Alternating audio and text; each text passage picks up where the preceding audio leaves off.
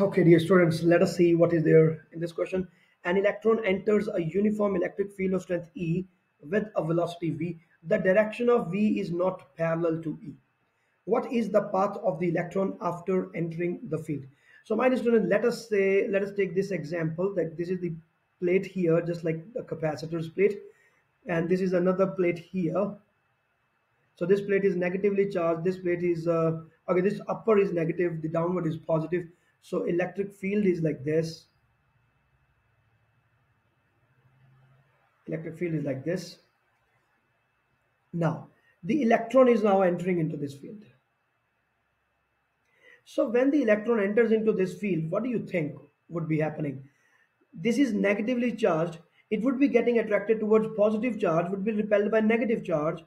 There will be a force which would be acting in the downward direction on the electron and that force will be given by q into e isn't it?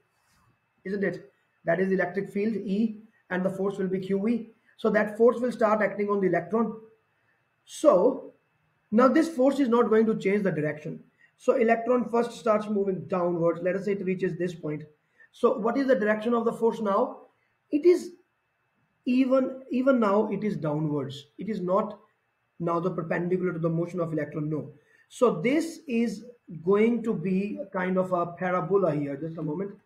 Let me draw it. So if it is going to move like this because it is being acted upon by a force just like gravity.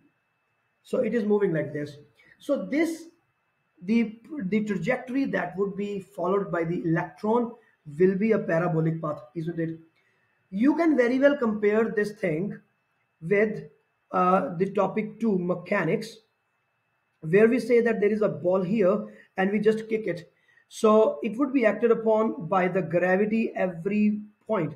At every point it is experiencing a downward force and the force is not changing its direction.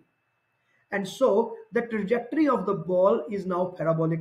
And this is absolutely the same case because it is now instead of weight it is now acted by the electrostatic force but the characteristic of force is typically same what what what are those? Like the the magnitude of the force is not changing. The direction is always downwards. It is not perpendicular to the velocity vector. And that is why i can say definitely it is going to be parabolic. Okay? So it's saying parallel to e parallel to v no circular no. And yes the answer is definitely b. So my dear students this is professor Varun. please subscribe to the youtube channel. All the best. Bye